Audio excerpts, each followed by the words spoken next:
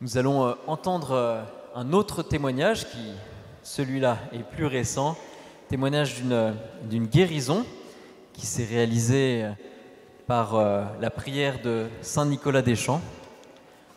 Nous accueillons Cécile et Catherine qui vont nous donner ce, témoignage de guérison.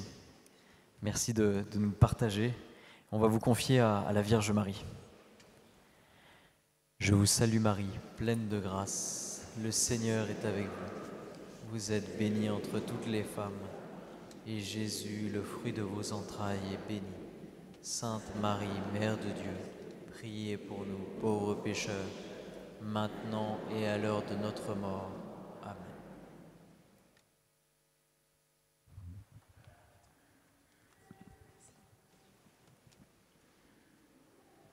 Bonsoir sœurs et frères. Fin 2019, j'ai découvert une grosseur dans mon sein droit. Je venais de fêter mes 50 ans. J'ai d'abord cru qu'il s'agissait de quelque chose de bénin. J'ai pris rendez-vous chez le médecin qui m'a demandé d'aller passer une mammographie et une échographie. Je n'étais pas réellement inquiète car j'avais déjà subi ces examens six mois plus tôt et tous les résultats étaient parfaits. J'ai passé une première mammographie, puis on m'a demandé de revenir une semaine plus tard pour de nouvelles investigations. Le médecin qui m'a reçu alors m'a annoncé sans ménagement qu'il avait détecté une lésion dans mon sein, que cette lésion était volumineuse et qu'il n'avait aucun doute sur son caractère cancéreux. La biopsie a confirmé une tumeur cancéreuse de 3 cm, très agressive, irrégulière, difficile à traiter. Ce type de cancer diffuse facilement dans tout le corps. J'ai été reçue par un chirurgien qui a fait preuve à mon égard d'un manque total d'empathie. Il m'a annoncé qu'il envisageait une mastectomie, c'est-à-dire l'ablation de mon sein, puis une lourde chimiothérapie et une radiothérapie. Je me suis confiée à mon amie Catherine, ici présente, qui avait eu un cancer un an plus tôt et qui m'a conseillé de contacter un spécialiste sur Paris.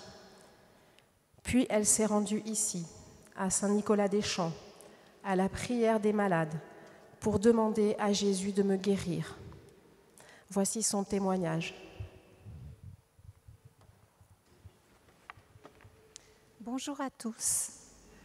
Paix et joie dans le Seigneur.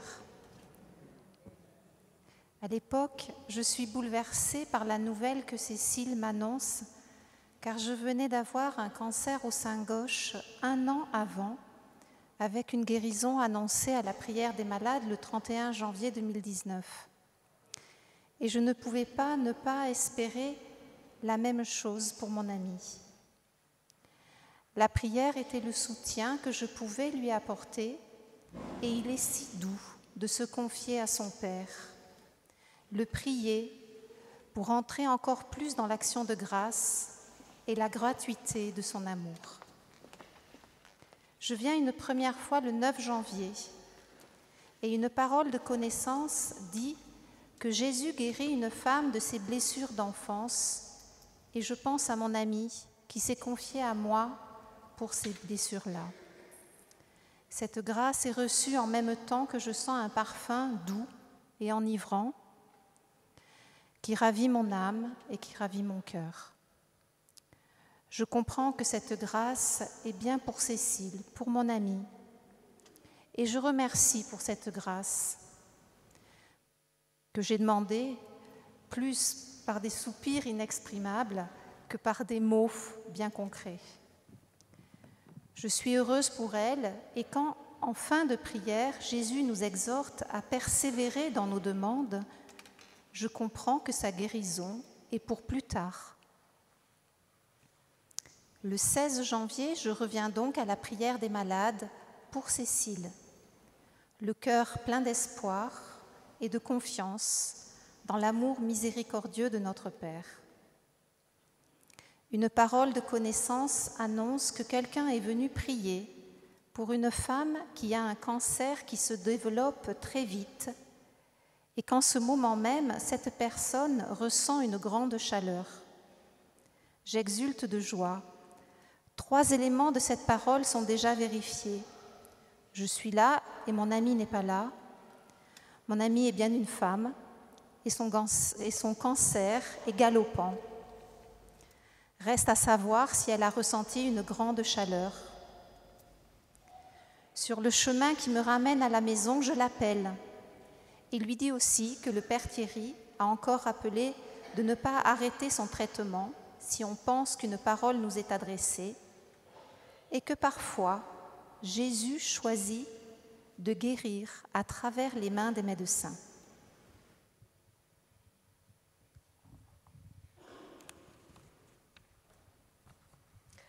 Lorsque Catherine m'a appelée pour me relater la parole de connaissance qu'il y avait eu ce soir-là à la prière des malades, j'étais abasourdie.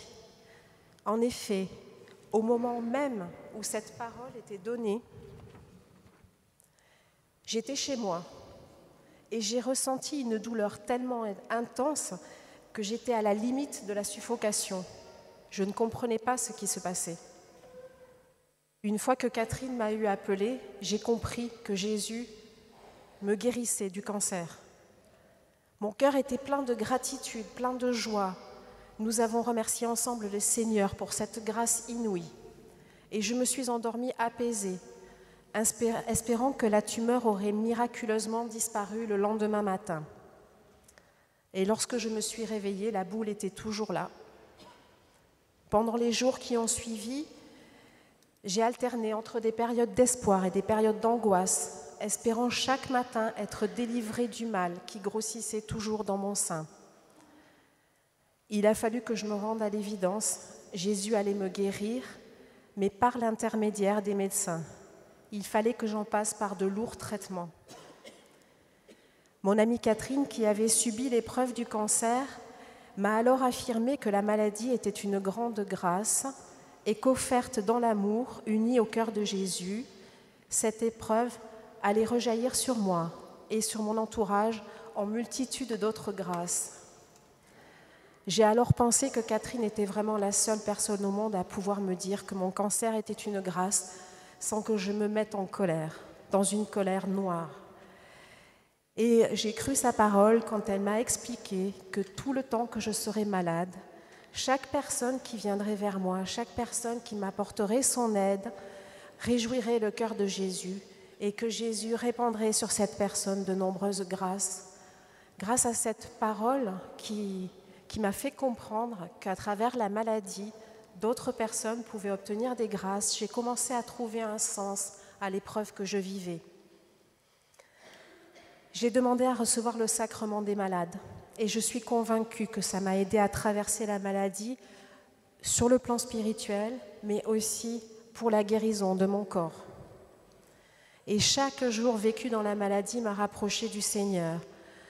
Chaque jour dans la maladie a fait grandir ma foi et m'a transformée en profondeur. J'ai reçu de nombreuses grâces. Tous les matins, en lisant l'évangile du jour, j'y découvrais un message qui m'était destiné et mon cœur était touché par les Écritures. Mes parents habitent à côté de Lourdes. Lorsque je leur ai annoncé ma maladie, je leur ai demandé d'aller prier pour moi la Vierge Marie. Et mes parents avaient pris leur distance depuis 30 ans avec l'Église suite au décès de mon frère. Et pourtant, ils sont allés à Lourdes. Ils sont allés prier la Vierge plusieurs fois par semaine. Et alors que nos rapports étaient souvent compliqués, notre famille s'est ressoudée, tout est devenu clair, limpide, fluide. L'amour s'est répandu dans nos cœurs. La chimiothérapie était fortement dosée et plus j'avançais dans mon traitement, plus mon corps s'épuisait. Par moments, j'ai cru mourir non pas de la maladie, mais du traitement. Et à chaque fois que je devais subir une intervention ou me rendre à une séance de chimiothérapie, je demandais à Jésus et à Marie d'être près de moi, de m'aider à surmonter l'épreuve qui m'attendait. Et je ne vais pas vous dire que par miracle, toute souffrance disparaissait avec la prière, mais la souffrance devenait supportable. Jésus et Marie étaient près de moi quand je demandais leur aide, et j'arrivais à traverser chaque épreuve. C'était difficile, mais ça n'était pas insurmontable. Ils étaient là pour moi. J'ai reçu des grâces un peu plus légères. Le taxi qui m'emmenait à 40 km de là faire ma chimiothérapie est arrivé un jour en me disant Madame, vous savez, tous les voyants de la voiture clignotent. Je sais ce qui se passe dans ces cas-là. Dans quelques centaines de mètres, elle va s'arrêter et elle sera bonne pour la casse. Je ne vais pas pouvoir vous emmener à la chimiothérapie. Et euh, Jésus a mis sur ma route un chauffeur de taxi croyant. Je lui ai dit ben, on va demander à Jésus et Marie. Nous avons fait les 40 km sans encombre. Je suis arrivée à la chimiothérapie, mais lui devait rentrer chez lui. Il m'a envoyé un autre taxi pour le retour et il me dit J'ai 50 km encore à faire pour rentrer chez moi. Et je lui ai dit Vous êtes croyant? Alors nous demandons ensemble. Et sa voiture est tombée en panne devant chez lui. Elle n'a plus jamais redémarré.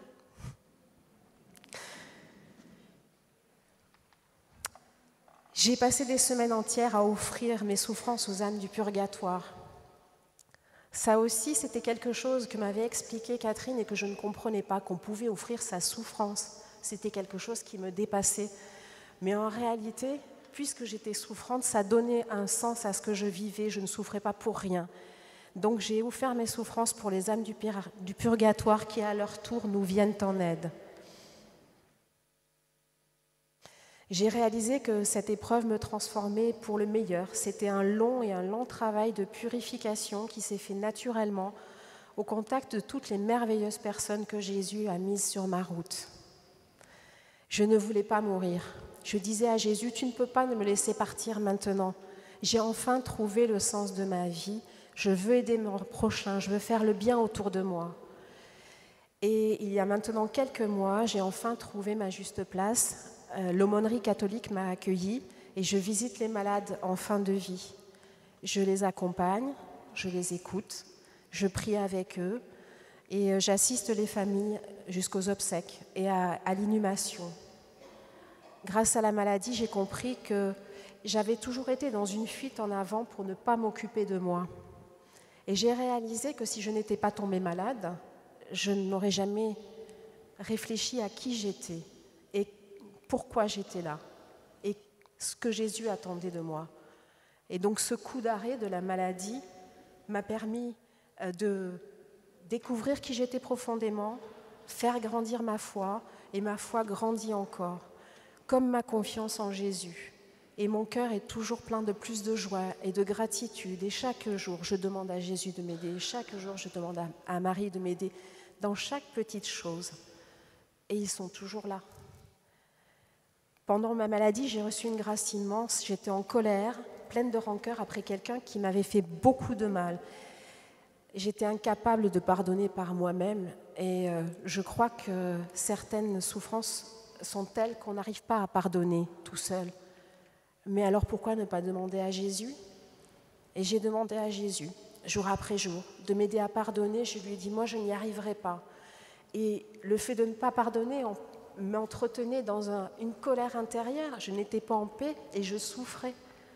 Et petit à petit, à force de demander à Jésus, il m'a accordé la grâce d'arriver à pardonner ce qui m'avait fait tellement de mal. Et cette grâce est accompagnée d'une grâce de paix. Je rends grâce à Jésus de m'avoir permis d'atteindre cette paix. Après six mois de chimiothérapie, la tumeur a complètement disparu et l'oncologue n'en revenait pas parce que son traitement fonctionnait au-delà de la normale. J'ai été opérée, mais j'ai pu conserver mon sein. J'ai fait de la radiothérapie et j'ai traversé toutes les étapes de la maladie et c'est dans mes faiblesses répétées que Jésus m'a inlassablement rejointe. Aujourd'hui, je suis guérie. Le cancer ne reviendra pas.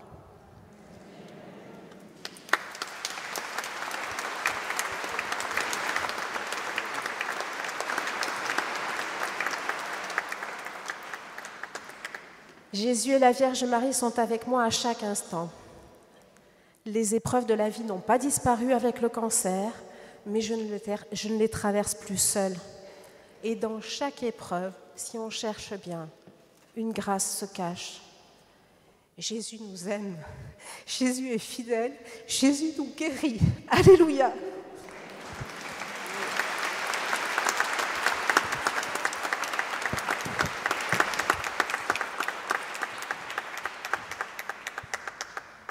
Merci beaucoup pour votre témoignage. On est plein d'actions de grâce euh, envers le Seigneur. Vous voyez qu'il, euh, quand il nous prend en charge, euh, cela a de multiples conséquences parce que le Seigneur s'intéresse non seulement à toute notre personne, mais aussi à notre entourage. Gloire à Dieu pour cette guérison.